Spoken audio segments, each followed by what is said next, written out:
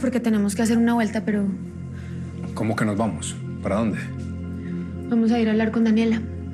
¿A hablar? Sí. Por ahora solamente vamos a hablar, ¿cierto? Cata, Vanessa, yo les pido de verdad, por favor, que no le vayan a hacer nada a esa niñita. Es que van a complicar más las cosas. Jimena, usted nos conoce. Nosotros no vamos a hacer nada. Compadrito. No tiene que hacer nada que no quiera por mí. No lo tiene que hacer. Esa vieja está loca, Jota.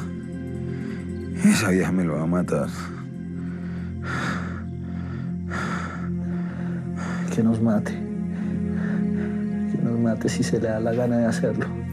A mí no me importa. Ella sabe que nosotros también le tenemos a la hija y que nuestros amigos son capaces de matarla si nos hacen algo. Joder, yo a veces creo que no tenemos lo que no somos capaces. Son capaces. Son capaces. De eso no lo dudo, compadrito. Si algo nos hacen aquí, nuestros amigos le van a matar la hija a esa desgraciada también. Jotica, escúcheme. Ay, ah, hemos sido muy ingenuos. Ah, ay, Yo sé, compadre.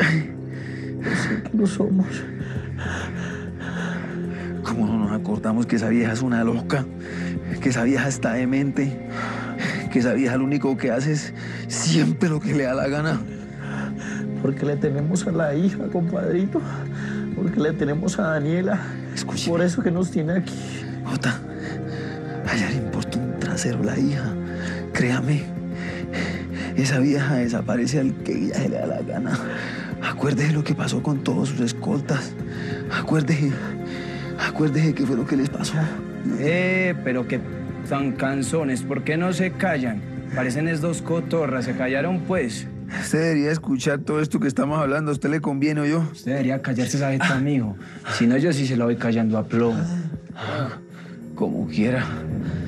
Ya a estas alturas de mi vida, ya que ya no me importa nada, ¿sí me entiende? Pero hágase una pregunta. ¿Usted por qué cree que una mujer tan poderosa no tiene escolta ni uno? Haga esa pregunta, ¿por qué cree? Los ha matado a todos. Bueno, ya. Se callaron pues, se cayó, se cayó pues, mijo. Entonces, que los psicólogos, ¿les pago la terapia o qué? Se callaron. Doña Hilda, mañana vamos a solucionar todo. De verdad, Jessica. Ay, sí, porque yo ya estoy cansada aquí, amarrada tanto tiempo. Necesito ver a Byron. Byron. No, no va a poder ver a Byron, pero va a ver a Albeiro, ¿Por qué Albeiro? porque viene para acá ¿Ya que viene? a verme. ¿A qué más? Usted ya sabe, ya le había explicado, él siempre me está buscando.